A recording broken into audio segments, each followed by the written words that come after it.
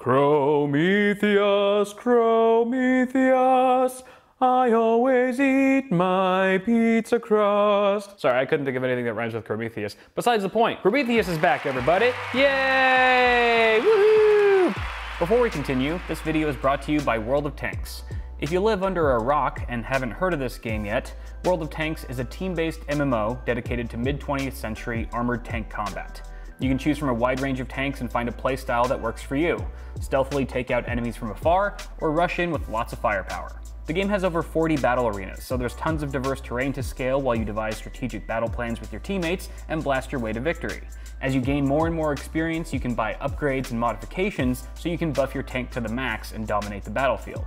Gamers with a keen eye for historic accuracy will also appreciate the authenticity of all the tanks and the attention to detail that keeps the models true to the originals. World of Tanks is free to play and free to win, so you only win battles using skill, not money. Of course, free online games are accessible to people of all skill levels, and with 100 million players on board, there's no shortage of epic matches and opportunities to interact with the global community of tank-loving gamers. You can play the game right now by clicking on the link in the description which includes an invite code that'll get you 7 premium days, 500 gold, and a premium tank, the T-127. Join in on the fun and start playing World of Tanks today. Very excited to be bringing this project back from the grave. It has been many months, maybe like three, four months maybe, since I actually touched this thing. Uh, there were a bunch of delays with parts that were coming in because that's when COVID had just hit. And then we moved into this new studio, which obviously took a lot of time and distracted me from projects like this. But now we're back and I'm really excited to be jumpstarting it once again. So just to give you a quick recap, a quick update, or maybe you're just new and you have no idea what this build is or what's inside of it. Uh, this is gonna be my editing workstation build, I always said that I would never have a custom water-cooled system as my go-to uh, sort of daily system for, for work especially, but here I am. I don't know what happened between now and then to make me change my mind. I think I'm taking this as an opportunity to really maintain this system properly, something that I haven't always been the best with with previous custom water-cooled builds that I've used.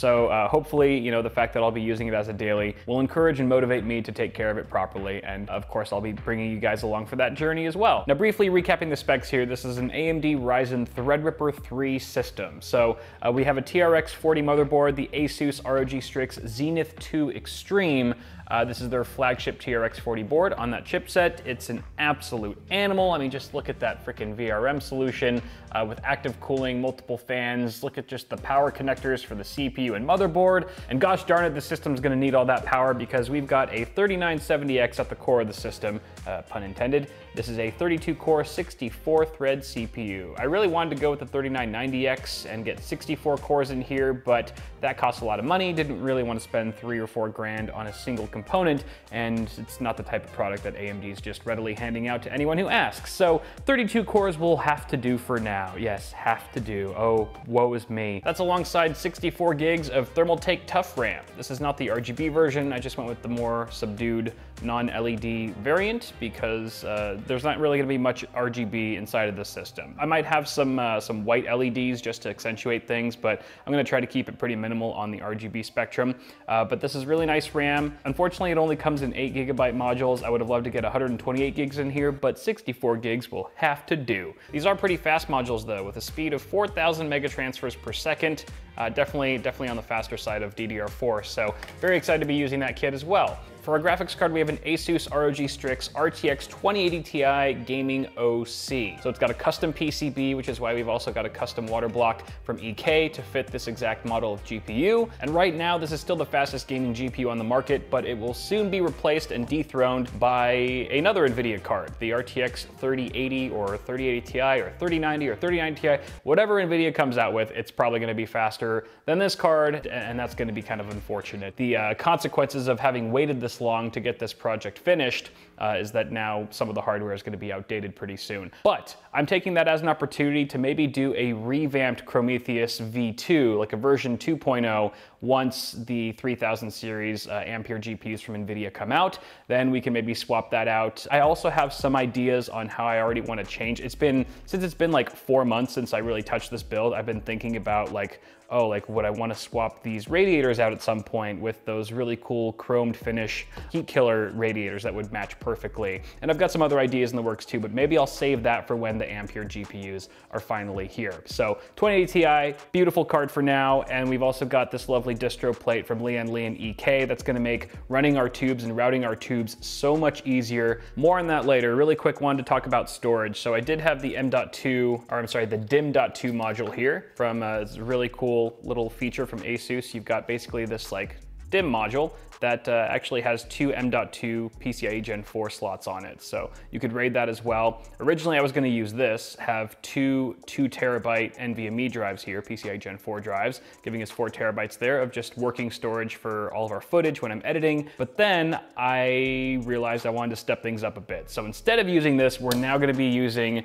this ridiculous card from Asus. This is their Hyper M.2 by 16 Gen 4 card. This slots into a PCIe by 16 slot, and it has four four M.2 PCIe Gen 4 slots on it, giving us a total of 256 gigabits per second of bandwidth. It's absolutely insane, and we are gonna be fully populating this with four Corsair MP500 PCIe Gen 4 NVMe M.2 drives. Uh, and these are each two terabytes, giving us a total of eight terabytes on this single card. I'm probably gonna RAID them, uh, or I'm definitely gonna RAID them, uh, just software RAID, maybe RAID 5. That way we can still get a good majority of our capacity there. Only We'll only be down one drive, so still uh, six terabytes of working storage. And then if a drive should fail, then the parity bits that are spread out across the other drives will be able to rebuild any of the lost data once I replace the dead drive. So that's where we're headed with storage. And of course, I'm gonna have one additional M.2 drive. I think it's already mounted underneath this plate here. I think it's just a one terabyte MP600 that will be used as our C drive. So in total, it'll be a seven terabyte system with redundancy as well. So now that you're up to speed on where we're at with Chrometheus, we can start talking about what we're doing today. If you guys recall, this is gonna be a metal tubing system. I've never worked with metal tubing before, so it's gonna be a, fun learning experience for me. This is one of the tubes that we're gonna be using. You can see that they are already pre-bent. They shipped pre-bent because it's really near impossible to bend metal tubes unless you have the proper tools for it, which I do not. Now I could just start measuring and cutting this and hope for the best, but that's a little bit risky because I actually didn't buy enough metal tubing to make any mistakes. I only bought enough for the build, assuming that everything goes perfectly and I don't F up anything. So instead what I'm gonna do is I'm gonna actually cut and measure all of our runs. I'm gonna create all of our runs with PTG tubing first, and then once I have those individual pieces, I'll use them as a template for cutting our metal piping exactly where it should be. That's probably as far as we're gonna get today because I still have to clean these tubes thoroughly.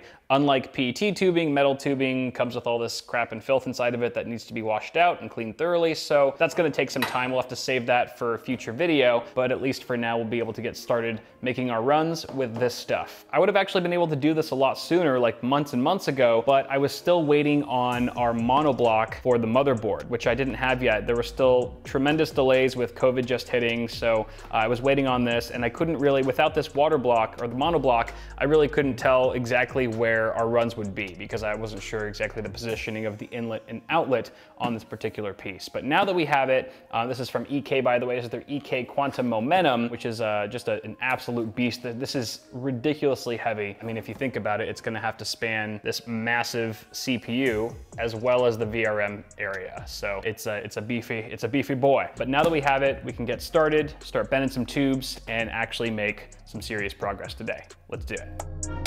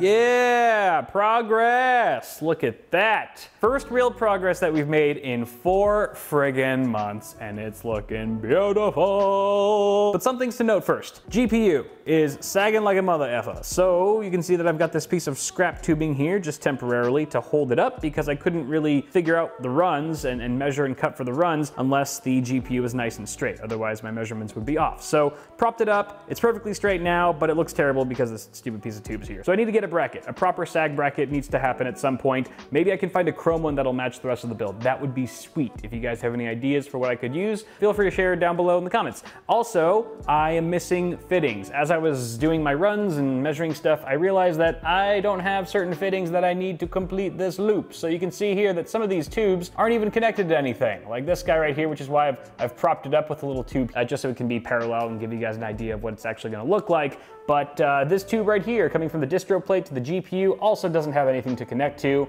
which is why it's also being held up by a piece of scrap tubing. So I need to get a couple more fittings, particularly the offset fittings. Here's an example of an offset fitting coming straight out of the monoblock. I think it offsets the port by six millimeters, I wanna say. They come in different sizes. I think this one's six millimeters, but don't quote me. I need to get two more of those, or I'm sorry, three more of those. I'm gonna stack two of them together, giving us, I think, 12 millimeters of uh, of, of, offset. So it's gonna go from this port right here on the distro plate. We're gonna stack two of them so that it can meet this tube perfectly. I've already tested it out with the two offset fittings I do have, and that measurement checks out and stuff. And then the other offset fitting is gonna go at this, uh, at this port right here, coming from the distro plate once again to connect to this pipe that goes to the GPU, because you can see that the pipe is in between these two ports, and it's, uh, it's not really connecting perfectly with either one. So once that's there, it should align perfectly and everything will be awesome. Also, look at this friggin' Vera monoblock. It's insane. It's absolutely crazy. It's,